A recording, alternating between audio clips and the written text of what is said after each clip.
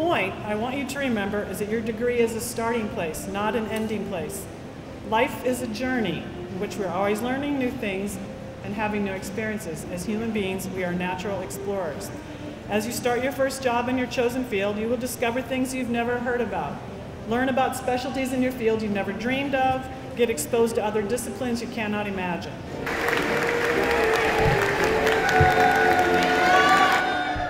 Name is Jordan Kellerman. I am graduating today with a degree in civil engineering and I will be getting my master's in mining engineering here at Rolla.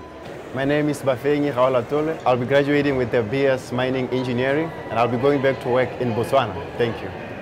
My name is Rachel Birchmeyer. After graduation, in one week, I'll be biking across the country, and in three months, I'll be moving up to Albany, New York, where I will be a nuclear engineer designing nuclear submarines for the Navy.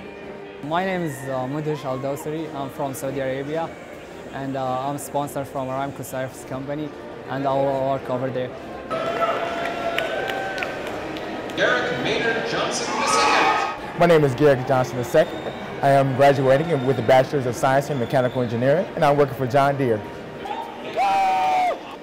Hi, my name is Rob Zedrick. I'm going to graduate with a BS degree in nuclear engineering. After this, I'm going to pursue my doctoral degree at Mizzou we've all been